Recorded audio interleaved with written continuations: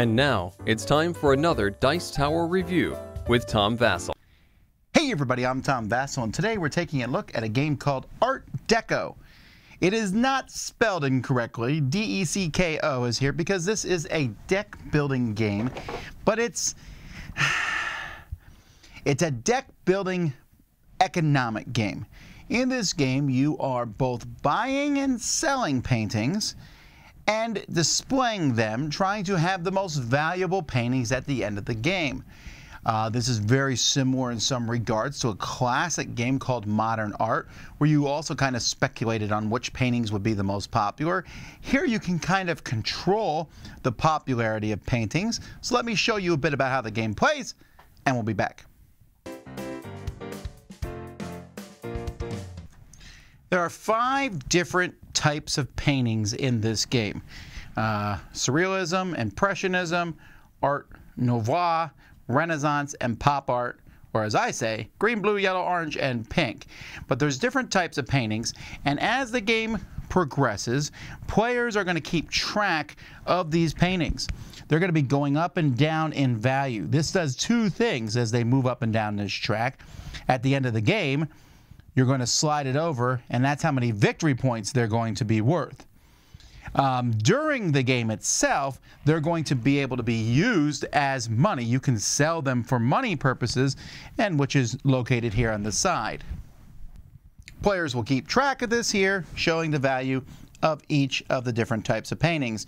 Each player has their own board here, but the paintings, the value of the paintings will be the same for all the different players. At the beginning of the game, each player is going to get their own starting deck based on turn order. So if I was the first player, I would take the deck for the first player, which has several one monies and twos, three ones and twos, while you'll notice the fourth player gets one one and four twos. You also have some cards randomly drawn from the deck paintings. You'll see what color paintings you have. You'll mix them together and you'll draw five cards. On your turn, you have two actions that you can take. One of the actions is pretty simple. Spend a card to stick it up here in action one or action two, depending on whether it's your first or second action, to draw two other cards.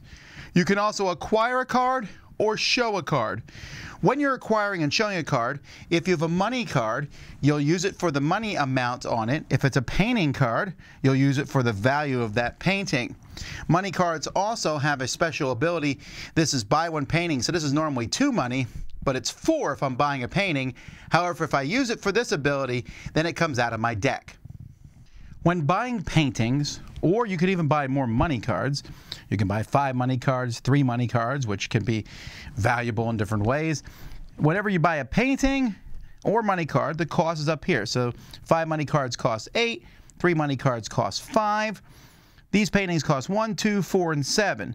You buy the top painting, and it's going to be put into your deck, so you'll now have another one of that type of painting. When you buy paintings, the value of them is going to go up depending which of these columns you buy them from. If you buy multiple paintings in your turn as both of your actions, you have to buy them from different galleries. At the end of your turn, you will check, and if any of these are completely empty, you'll then draw and refill them. However, the price also changes. This number would come off, and the next lowest number that's higher than the number here, so this was a 2, so 3 would slide in here. Uh, if it was the 7, this would come off, and the next highest number would be 8. So the prices of paintings are going to go up over the course of the game. Exhibiting paintings is the third action you can do, and this is where you will pay money to exhibit a painting. The amounts here are quite a bit more expensive, and you have to have the painting in your hand. But you'll play the painting there if it matches one of the icons that's here, and there's a wild icon. If so, you'll take that icon or the wild icon off. You're going to get that many victory points. You'll put one of your tokens there to show that you've done a painting of that type. The first person, the first time anybody does a painting, they get a bonus. So you can either take a discount in the cost or get extra victory points. And you, if all the paintings in a section are done, then this random bonus tile that was put at the top will give points at the end of the game. The player with the most starting gold cards left at the end of the game will get an extra five points. But that only happens if they're all full or if none of them are full at the end of the game, then whichever one has the most cards. Now, speaking of end of the game, when there's a certain number of cards here, 12 cards, that's going to trigger the end of the game. Or if the deck of painting cards runs out, or if one of the tokens gets to the end here. By the way, gold also has a token that moves every time someone buys a gold card. At the end of the game, when that's triggered, these all slide over. Like I said, you'll count up all the cards in your deck, get points for their value. Your money is also worth points, although you'll notice that it's your best range is from 50 to 59. After that, money is worth one point for every three gold that you have. Whoever has the most points is the winner. Now, whether I like the game or not, I will say I'm not a huge fan of the graphic design. It feels very sparse, which is kind of weird for an art game. The boards are okay. You can flip the board over and you just put all your cards. I do like this. You put the cards near the amount that they score. Then there's a multiplication chart in case you can't figure that stuff out. So that's kind of cool. The art on the cards is great. And I like that the different styles, you know, surrealism is a different style. What I'm not as big of a fan of is that there's only a few different pictures.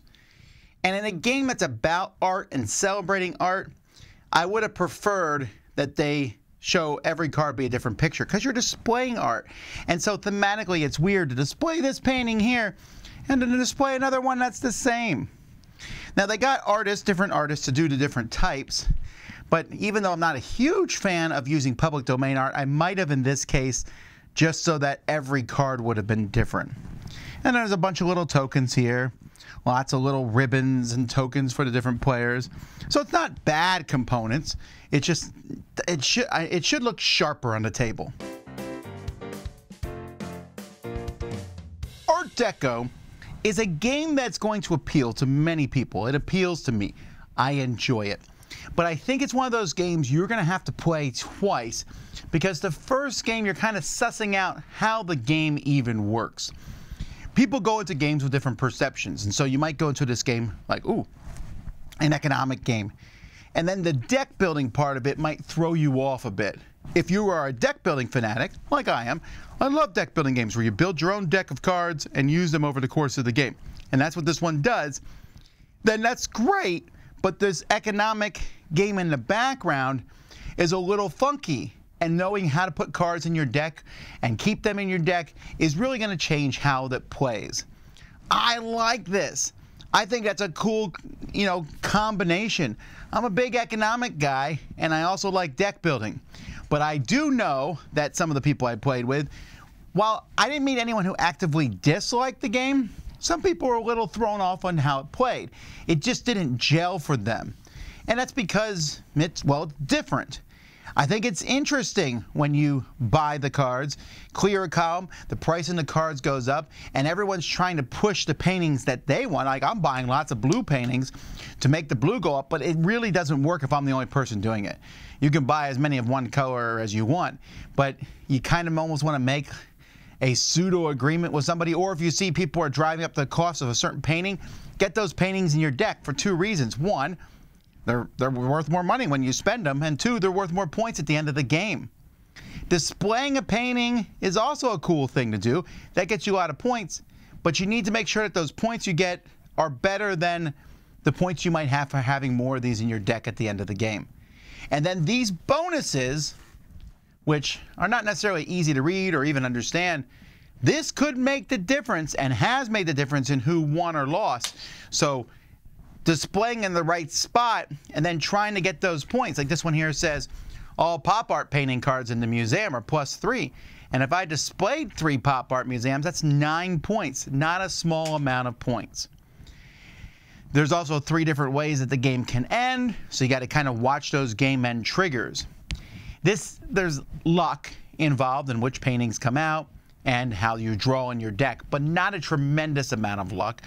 And that coupled with this makes us feel like a different kind of stock market game. And I know some people actually buy and sell paintings, and that's how they invest. I, I don't have the cash for that sort of thing. Um, but I find it interesting. And if you like that, you might find this interesting too. This felt like a stock market game in some ways, but a little bit different because you don't go around displaying stocks in galleries. So if this sounds interesting to you, as it does to me, definitely check it out. So that's Art Decko. I'm Tom Vasel. You've been watching the Dice Tower. Dice Tower Judgment approved.